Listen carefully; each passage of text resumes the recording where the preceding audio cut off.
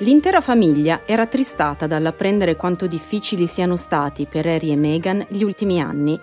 Le questioni sollevate, in particolare quella relativa alla razza, sono preoccupanti. Sebbene su alcune ricostruzioni ci possano essere pareri discordanti, vengono prese molto seriamente e saranno affrontate dalla famiglia in privato. Harry, Meghan e Archie saranno sempre membri amatissimi della famiglia. Il comunicato della regina Elisabetta è arrivato nel tardo pomeriggio di martedì 9 marzo, un giorno e mezzo dopo l'intervista che suo nipote Harry e la moglie Meghan Markle avevano concesso a Oprah Winfrey sulla rete statunitense CBS.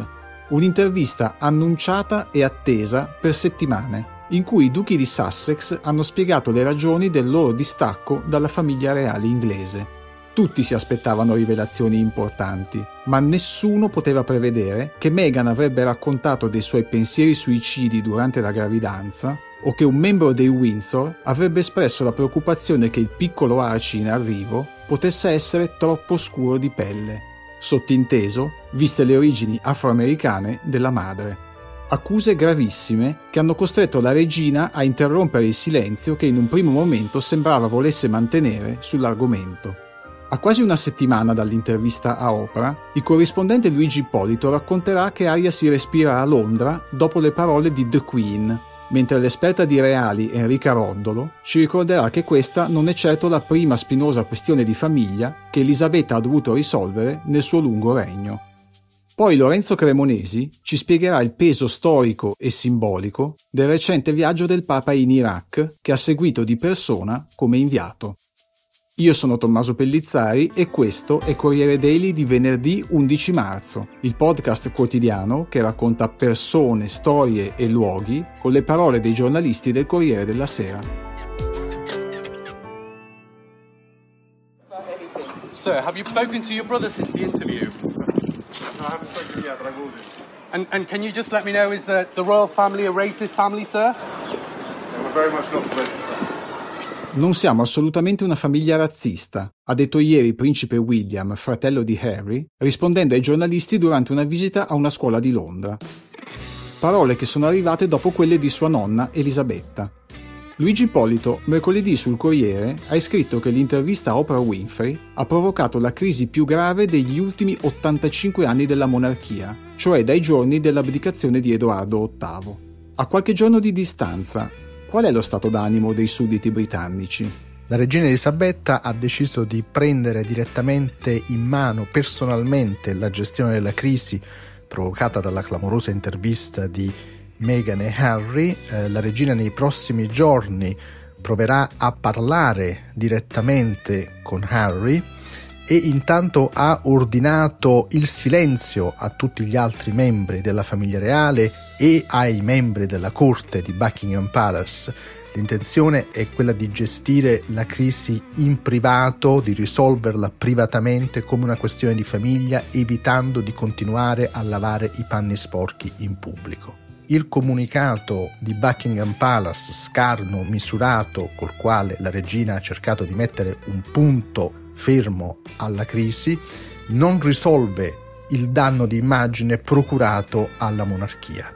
L'accusa di razzismo mossa da Harry e Meghan è quanto di peggio si potesse immaginare. In una società multietnica come quella britannica l'accusa di razzismo è infamante l'intervista di Harry e Meghan ha minato alla radice in qualche modo la credibilità stessa della monarchia britannica e la sua legittimità agli occhi dei sudditi. Ci sono molti, non pochi, che cominciano a porsi domande sulla possibilità di sopravvivenza a lungo termine dell'istituzione monarchica, specialmente dopo l'inevitabile trapasso di Elisabetta, anche se c'è da dire che i sondaggi fatti al volo fra l'opinione pubblica britannica vedono una maggioranza di sudditi schierati dalla parte della regina, anche se c'è una grossa fetta che solidarizza con Meghan e Harry e una buona parte di opinione pubblica che non si esprime ed è un divario soprattutto generazionale con i più giovani schierati dalla parte di Harry e Meghan e i più anziani che invece fanno quadrato attorno alla sovrana. Quali sono state invece le reazioni politiche? il governo di Boris Johnson ha evitato di prendere posizione, Johnson si è trincerato dietro un ripetuto no comment, anche se non ha preso esplicitamente le difese della famiglia reale, ha evitato il governo di entrare in una polemica estremamente spinosa, dato che coinvolge la questione del razzismo. Invece i laburisti hanno cavalcato l'onda dell'indignazione nei confronti di una monarchia percepita come subdolamente razzista e addirittura i laburisti hanno chiesto che Buckingham Palace avviasse un'indagine interna. Diciamo che la divisione politica in Gran Bretagna è grossomodo fra una sinistra, un campo progressista che solidarizza con Meghan Markle, che vede vittima dell'istituzione, vittima del razzismo, e invece un'opinione pubblica conservatrice che ovviamente si schiera più a difesa della monarchia.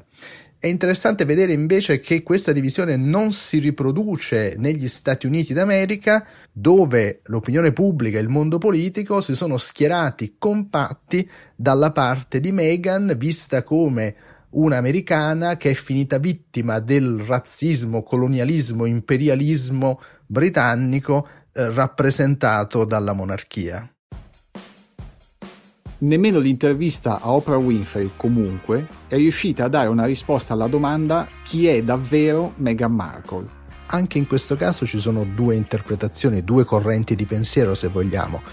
La prima interpretazione è quella affacciata dalla stessa Meghan nel corso dell'intervista. Lei si è dipinta come una giovane americana abbastanza ingenua, ha detto di se stessa di essere stata naif a sposare così ingenuamente un membro di una famiglia reale europea senza comprenderne appieno tutte le implicazioni. E dunque, secondo questa narrativa, Meghan sarebbe sostanzialmente una vittima che è finita stritolata dal protocollo reale, è stata condotta fino a meditare il suicidio e eh, quindi a decidere di cercare di nuovo di riprendersi la libertà in America assieme a suo marito. L'altra interpretazione, quella dei detrattori, vede invece in Meghan Markle una arrampicatrice sociale, una abile calcolatrice che aveva previsto tutto fin dall'inizio, che era venuta in Europa per sposare qualcuno di ricco e famoso, che addirittura è riuscita a portare a casa un principe reale e che fin dall'inizio aveva programmato di ammantarsi del mantello reale per poi tornare in patria a fare fortuna, diventare una celebrity, stringere contratti milionari come ha fatto con Netflix, con Spotify e addirittura, come immagina qualcuno, in un secondo momento magari scendere nell'arena politica. Dunque tutto un calcolo, tutto un percorso previsto fin dall'inizio. È anche vero però che nella sua diversità quello di Harry e Meghan è un film già visto. Il loro, in fondo, è solo l'ultimo fra i tanti casi della famiglia Windsor da quando Elisabetta è diventata regina.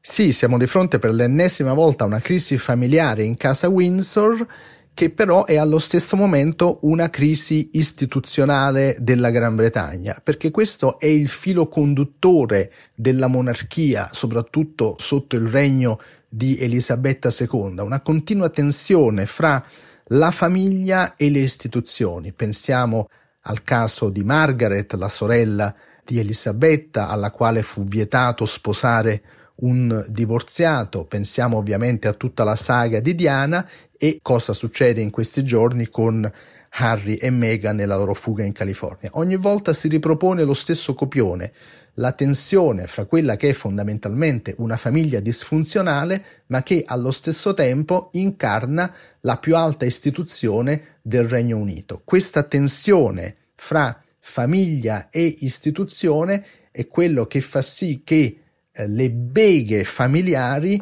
assumano un carattere dirompente per tutta la Gran Bretagna. Non dimentichiamo che Harry resta il sesto nella linea di successione al trono, ma qualcuno ha detto immaginiamo cosa potrebbe succedere se capita qualcosa di brutto a Carlo e a William, cosa che è improbabile ma non impossibile. Beh, Harry improvvisamente diventerebbe il reggente in nome del piccolo principe George, cioè Harry non è così lontano dal trono alla fine, quindi ecco perché una crisi familiare come questa è allo stesso tempo una crisi della monarchia, una crisi costituzionale per la Gran Bretagna.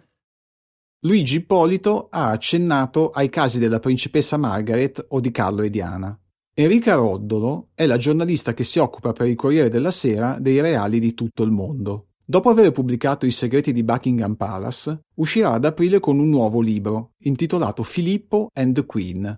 A lei ho chiesto di raccontare quali sono state le crisi familiari più complicate che Elisabetta ha dovuto risolvere nei suoi finora 69 anni di regno. E fin dal primo momento, tra l'altro. Esattamente durante la cerimonia a Westminster Abbey nel giugno del 1953, la cerimonia di incoronazione della regina Elisabetta, quando la mano della sorella Margaret sfiorò la giacca del capitano Hausen, che era stato eroe della battaglia d'Inghilterra, poi scudiero del padre re Giorgio VI e del quale la giovane principessa si era innamorata. Il mondo che seguiva la cerimonia in televisione notò quel gesto affettuoso e così l'amore privato divenne un oggetto di dibattito pubblico. Un dibattito complicato, perché una faccenda privata come una storia d'amore diventava una questione istituzionale. Townsend era sposato, aveva dei figli e su tutto questo poi incombeva un fresco precedente. Quel pesantissimo precedente di Wally Simpson, una pluridivorziata americana che con il suo amore aveva messo a repentaglio la stabilità della corona dei Windsor, tanto che Edoardo VIII, il fratello di Giorgio VI, si deciderà per l'abdicazione lasciando la strada a Giorgio VI, che tutti noi conosciamo appunto come il re del famoso film Il discorso del re. Poi c'è la storia più famosa e complicata di tutte, quella di Carlo e Diana finita tragicamente con la morte della ex principessa di Galles a Parigi in un incidente stradale il 31 agosto del 1997. Tutto questo generò un vero terremoto istituzionale, tant'è che in quel caso, a differenza di quanto abbiamo visto in queste ore con la reazione di Downing Street alla vicenda di Harry e Meghan molto defilata, in quel caso fu invece lo stesso primo ministro il giovanissimo all'epoca Tony Blair a prendere in mano le redini della situazione e invitare la regina a pronunciarsi e insomma a cambiare la situazione che stava diventando molto problematica, come indicarono subito i sondaggi di opinione per la sovrana e per la monarchia. Infine, la sgradevole vicenda di un altro figlio di Elisabetta, Andrea, fratello minore di Carlo. La sua amicizia con Brian Epstein ha creato parecchi problemi a Buckingham Palace. Epstein è il miliardario americano arrestato con l'accusa di abusi sessuali e traffico internazionale di minorenni e poi morto suicida in cella nell'agosto del 2019. Una questione che è già costata al principe l'abbandono di tutti gli impegni reali, non comparerà più in occasioni ufficiali e a proposito di interviste pure il principe Andrea diede nel 2019 un'intervista alla BBC che per la verità anziché chiarire la situazione e allontanare le nubi all'orizzonte, rafforzò anzi le voci scettiche sul possibile ruolo in questa vicenda del principe Andrea. Si disse all'epoca appunto che era stata un'intervista decisa dal principe in modo un po' avventato, inconsapevole forse che ogni sua parola sarebbe stata passata al setaccio e decrittata in ogni suo aspetto. Una cosa è certa, appunto come diceva Walter Bagehot, una famiglia sul trono ha tutti i benefici ma anche tutte le complicazioni di una famiglia sul trono.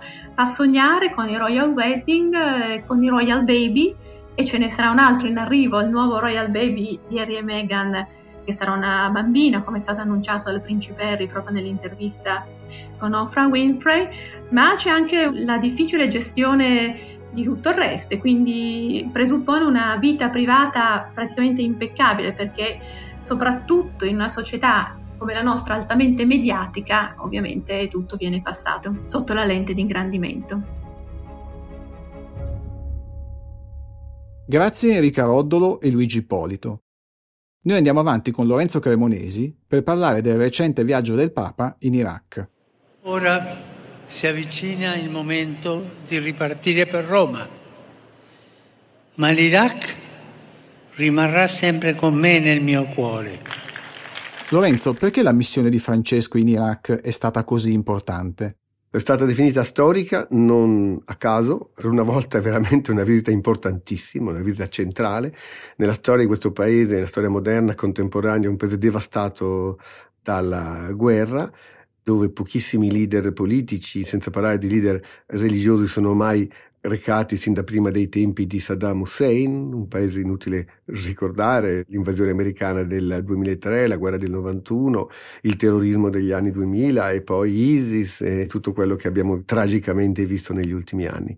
Il Papa ci è andato sfidando chi prospettava l'eventualità di attentati, che ci fossero morti, feriti, e soprattutto chi lo accusava di poter essere veicolo di pandemia. In Iraq naturalmente c'è il virus come in tutto il mondo e quindi che il Covid potesse colpire. Lui lo ha ripetuto più volte, no, è importante andare. Basta tenere a mente quello che succedeva a Mosul, che è stata fino al 2017 la capitale del califato. Il Papa si è recato nelle chiese di Mosul e a meno di 500 metri in linea d'aria ci sta la famosa moschea al-Nuri, dove nel 2014 al-Baghdadi pronunciò il famoso discorso di annuncio al mondo della nascita di quella cosa terrificante che era il califato. E il Papa ci è andato e ha parlato non soltanto ai suoi cristiani, ma al mondo intero ha parlato della necessità di dialogo non solo interreligioso, ma anche dialogo politico. Quali sono state le tappe principali di questo viaggio? Il viaggio si è diviso, direi, in tre parti. Il Papa è arrivato ed è andato in un luogo fondamentale, questa basilica sirio-cattolica, la chiesa della Nostra Signora della Salvezza, dove nel 2010 ci fu un terribile attentato tra i tanti, le chiese furono prese di mira dai fondamentalisti sin dal 2004 e morirono 48 persone, tra cui due sacerdoti. E lì c'è stato questo primo incontro con la comunità cristiana di Baghdad, che è una comunità ridotta all'osso. Non dimentichiamo che in Iraq vivevano fino a prima del 2003 circa 1.600.000 cristiani. Oggi sono meno di 250.000. Dopo l'incontro con quel che resta dei cristiani iracheni, qual è stata la seconda tappa da mettere in evidenza? La seconda tappa importante è stata quella con Ali al-Sistani, che è il leader religioso sciita più importante dell'Iraq, ma anche che ha una statura mondiale, è stato definito giustamente l'anticomeni, cioè è la parte moderata, la faccia più religiosa e meno violenta dell'Islam sciita. È l'uomo che ha voluto il dialogo con gli americani dopo la guerra, che ha creato le milizie di resistenza anti-ISIS nel 2014 e che ha sempre predicato, nonostante la gravità degli attentati di ISIS e di Al-Qaeda prima, il dialogo tra sciiti e sunniti. Quindi importantissimo perché non dimentichiamo il contesto internazionale, siamo nell'era di Biden, siamo nell'era del tentativo americano e occidentale di riaprire il dialogo con l'Iran per rimettere in piedi il famoso trattato sul nucleare. Il Papa cosa fa? Incontra un leader moderato sciita che facilita e che aiuta questo dialogo. Sicuramente ci sono momenti in cui la fede può vacillare, quando sembra che Dio non veda e non agisca quando per voi, questo per voi era vero nei giorni più bui della guerra ed è vero anche in questi giorni di crisi sanitaria globale e di grande insicurezza. In questi momenti ricordate che Gesù è al vostro fianco. Non smettete di sognare, non arrendetevi, non perdete la speranza Particolarmente significativi sono stati altri incontri con altre comunità cristiane. Karakosh dopo Mosul e Irbil l'ultimo giorno, il 7 di marzo, è stato l'incontro con la sua gente e gli si è visto questo abbraccio di folla coraggiosa e determinata a restare attorno al suo Papa. Devo dire, l'emozione, la forza, L'importanza di tutto questo non si può capire se non si ricorda quello che era l'Iraq 4-5 anni fa ai tempi del califato. Grazie Lorenzo Cremonesi. Oggi finiamo qui. Per altri approfondimenti, nel sommario di questo episodio potete trovare i link agli articoli di Corriere.it. Se volete scriverci, mandate una mail a corrieredaily-rcs.it. Corriere Daily torna domani con la mazza caffè di Massimo Gramellini.